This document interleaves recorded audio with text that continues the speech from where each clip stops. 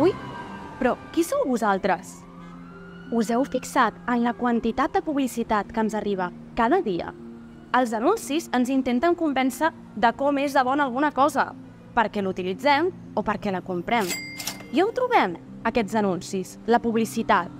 En tanques, parades d'autobús, a la ràdio, a la televisió, a internet, a les xarxes socials, a les revistes, a les tendes, cotxes, autobusos...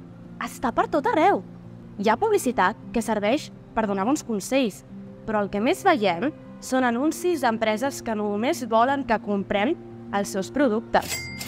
Eh, que diferenciar tot això sembla fàcil, però no ho és. A vegades tenim dubtes i no sabem si allò que veiem és informació, opinió o si el que realment volen és que comprem alguna cosa.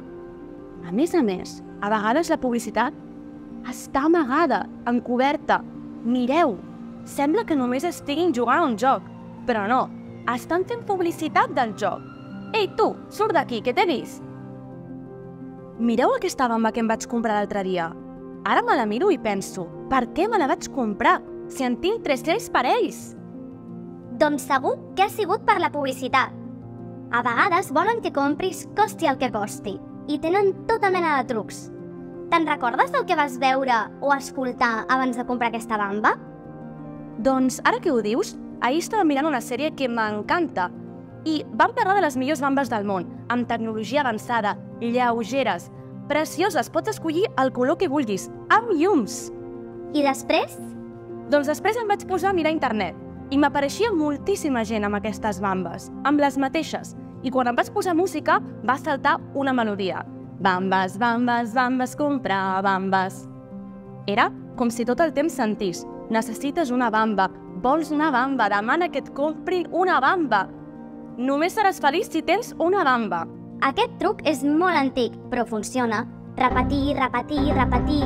Et repeteixen una cosa de mil formes diferents, mil vegades, i al final ho acabes comprant. O demanant a algú que t'ho compri. També vaig veure que a la tele deien que amb aquesta bamba pots córrer més de pressa que un gepard. Això és exagerar moltíssim. És impossible que una persona porti les bambes que porti corri més que un gepard. Impossible! També em van dir que quan el meu futbolista preferit porta aquesta bamba, sempre marca un gol. Sí, clar, sovint fan servir persones famoses per vendre'ns coses. I em van dir que si em comprava una bamba, me'n donarien una altra de franc. Te l'han colat ben colada.